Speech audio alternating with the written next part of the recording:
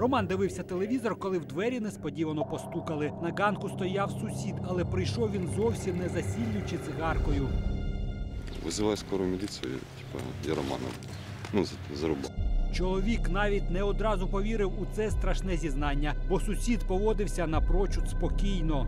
Він якийсь був закривалений, руки в крові були, коли він до вас прийшов. Побитий був. Роман його побив Ага. і все. А так руки чисті, бо я телефон давав, телефон чистий. А коли на місце приїхали правоохоронці і зайшли всередину будинку, вжахнулися. У кімнаті лежав мертвий чоловік.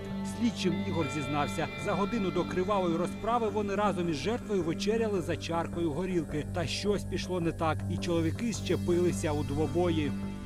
Після бійки родичі розійшлися по своїх кімнатах. Здавалося б, конфлікт був вирішений. Та от брат господині ніяк не міг заспокоїтися. На подвір'ї він побачив сокиру, взяв її руки та повернувся в хату.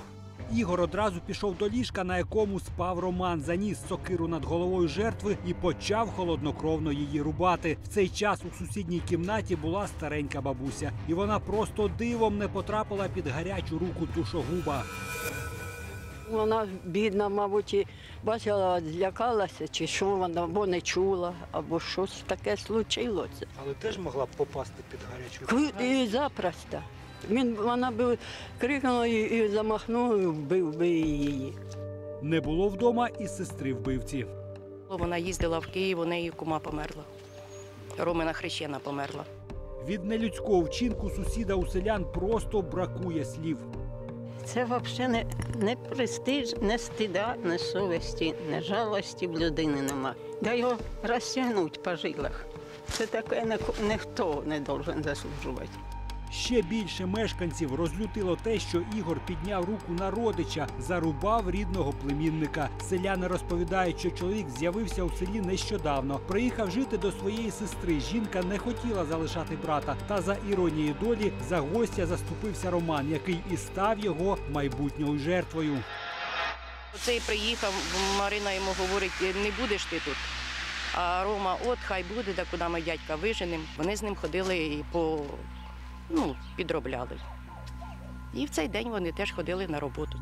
Експерти нарахували на тілі вбитого аж сім ран від леза сокири. За що нелюд накинувся на родича, незрозуміло. І що Роман сам міг спровокувати душогуба, ніхто не вірить. Він ні, нікому зла не, не робив. Нігде я не чула.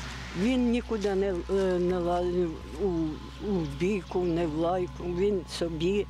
Е, Ну там вип'ють хлопці, це таке. Він набільше то з матір'ю е, до магазина піде. А от вбивцю поліцейські добре знають. Він лише місяць тому повернувся із тюрми, відсидів шість з половиною років та вийшов за амністією. Виявляється, що затриманий потрапляє у райвідділ далеко не вперше. Його значний кримінальний досвід вразив навіть досвідчених слідчих. Чоловік вже має кілька судимостей за розбої, пограбування. А останній свій строк він взагалі відсидів за те, що зарізав знайомого. Селяни переконані, такі вже ніколи не виправляться. Це ужас. Це, це ви знаєте, це страховище. Їх взагалі треба е, унічтожити його. Родичі, які приїхали попрощатися з загиблим, розповідають, що Ігор завжди був неадекватним і навіть припускають, чому. Йому років 12 було, він е, попав в аварію і розбився на мотоциклі з товаришем. І від нього була дуже велика черепно-мозгова травма. Ну, він до лікарів не звертався, ніде нічого. Підозрюваний у холоднокровному вбивстві племінника вже під вартою. Після звірячої розправи чоловікові навряд чи можна сподіватися на милість суду. Враховуючи кримінальне минуле, йому загрожує довічне ув'язнення.